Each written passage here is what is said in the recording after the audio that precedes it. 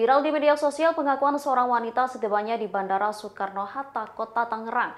Ia menyebut jika para pekerja migran Indonesia atau PMI harus mengantri lebih lama untuk proses karantina kesehatan.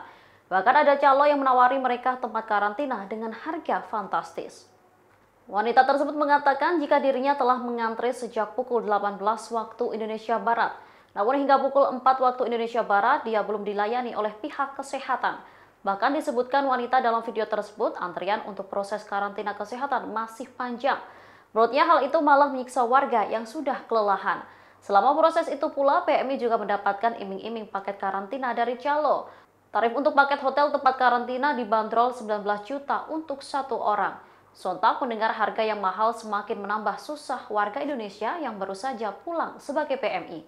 Sementara itu, Komandan Satgas Udara COVID-19 Bandara Soekarno-Hatta Letkol Agus Listiono mengakui bahwa ada penumpukan penumpang pesawat dari luar negeri. Terkait 19 juta menurut perempuan dalam video, Agus menyebut bahwa harga itu memang adalah paket karantina kesehatan di hotel. Harga paket itu tergolong mahal karena terdapat sejumlah fasilitas lain yang digunakan oleh para penumpang dari luar negeri yang menjalani karantina. Adapun perempuan itu sebenarnya tak berhak menggunakan fasilitas karantina di Wisma Atlet. Pasalnya pihak yang diizinkan menggunakan Wisma Atlet adalah PMI, pelajar dari luar negeri, dan aparatur sipil negara.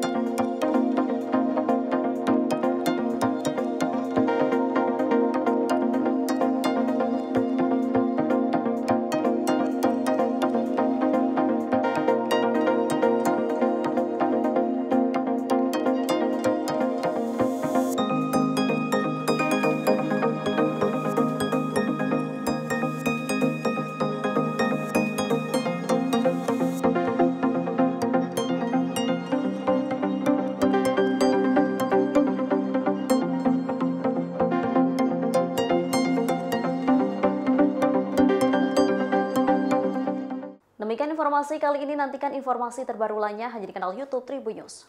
Terima kasih sudah nonton, jangan lupa like, subscribe, dan share ya!